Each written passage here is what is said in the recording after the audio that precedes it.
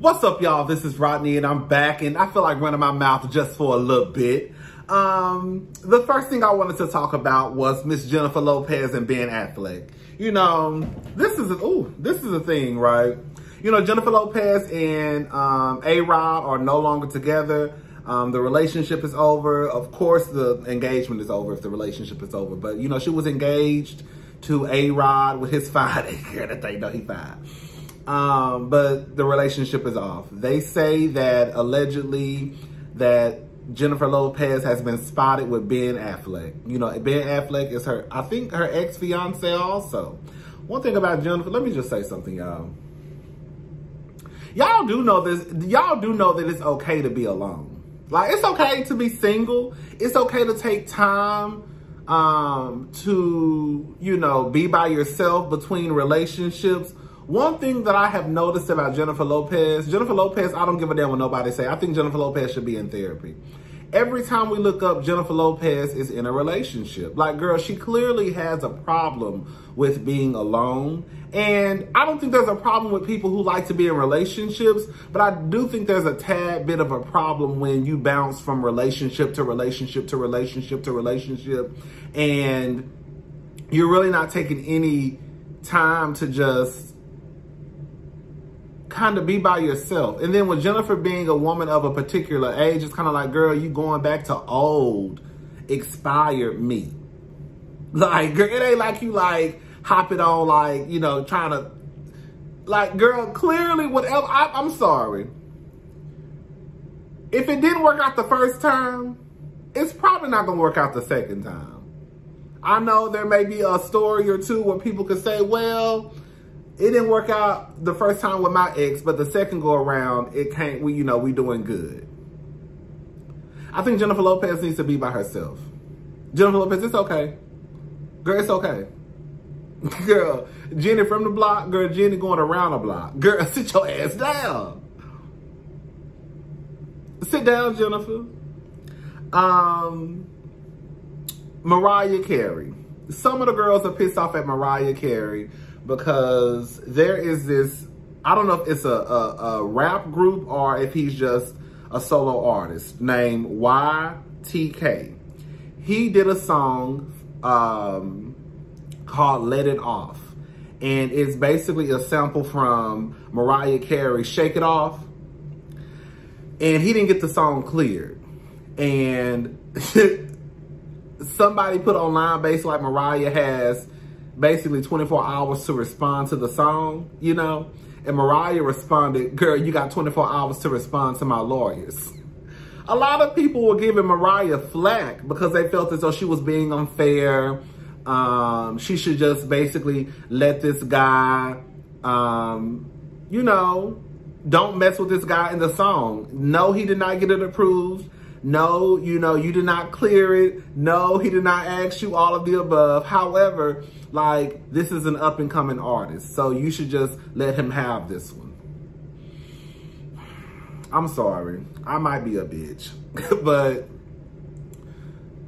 I think there's a reason why you have to go through the proper channels whenever you want to use someone's intellectual property, basically right?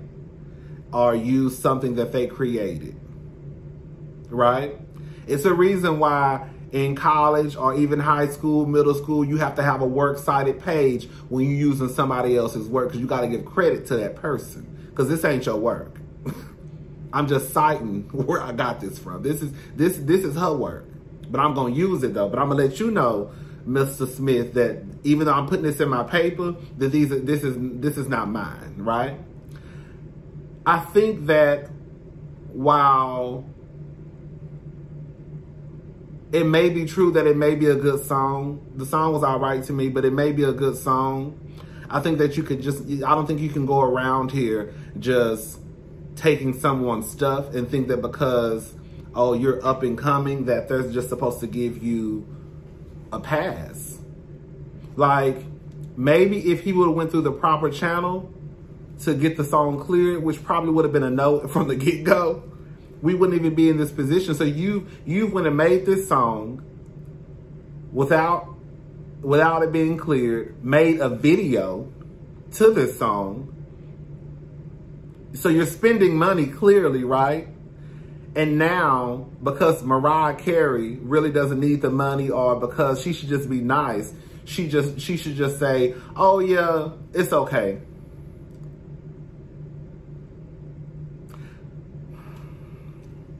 I don't know, y'all.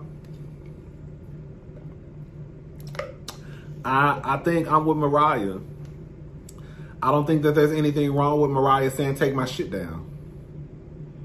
You didn't even you didn't ask me could you use my shit. You didn't send me no email. You didn't send me no text message. Didn't nobody come knock on my door. Girl, you ain't send no smoke signal. Girl, you ain't stop me at the red light. Girl, you ain't stop me at the convenience store. Girl, you didn't you didn't stop me when you saw me in Walgreens. Girl, you ain't sent nothing, asked nothing, said nothing. Sorry. Anyways, so let's talk about Lil Uzi. Y'all know I call him Lil Uzi. Lil Uzi Vert what's his name? Lil Uzi, Lil Uzi Vert, and JT. So Lil Uzi, Lil Uzi, I call him Lil Uzi. Lil Uzi and JT are on the cover of an of, of a magazine. The pictures are already leaked. I don't think the magazine has come out yet, but the pictures are already leaked. It was really supposed to be a, a magazine for Lil Uzi, but he wanted to include JT. We talked about Lil Uzi and JT and um, Yung Miami a couple of weeks ago. Because I think something was going on between JT, I mean, Yung Miami and, Lil, oh yeah, we did, we did. Remember when um, Lil Uzi was low-key checking Yung Miami on live and then her baby daddy found out and girl, they was going back, it was just a back and forth, well not a back and forth, but he got online basically saying that he would beat, he would beat his ass. You, you remember? That's when we talked about it. Let me say something about Lil, Uzi and JT. I don't keep up with them like that. I don't know the ins and outs of their relationship. However, I will say this much. I think that JT, even though I, every time I look up she online defending something or going off, girl, let it go. Like one thing I do, one thing that will drive me up a wall is when I see a woman online defending a man. Like, for example, not defending a man, but for example, if you're in a relationship and you online going back and forth with an ex, girl, why are you going back and forth with an ex? You see what I'm saying? Like, you shouldn't even be online worried about having to check an ex. Because quiet as it's kept, he should have got in contact with his ex and was like, hey, don't mention nothing about my girl. Don't mention nothing about me. But the simple fact that I've seen JT online going back and forth with an ex-girlfriend. And let's just be clear about this. Now I'm about to go on a whole rant. Let's just be clear about this. Because I know a lot of people do this. I know a lot of women do this. Girl, you don't know what was going on between your new man and her old man. The same way this nigga got pillow or half pillow talk with you, he had it with her too.